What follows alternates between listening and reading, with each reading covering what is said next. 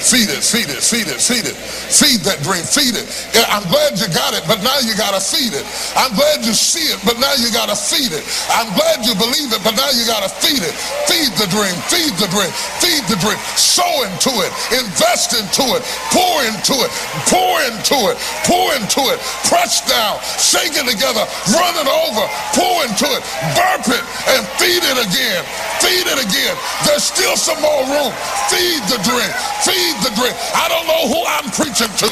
It may be somebody on the internet, but God is getting ready to do something in your dream. This is your season to feed the dream.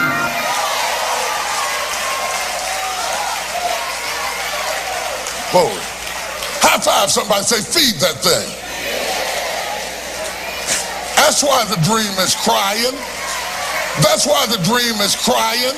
That's why the dream is crying. It's not crying because it's dying. It's crying because it's hungry.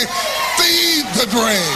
Feed the dream. The problem is a sign that you need to feed the dream.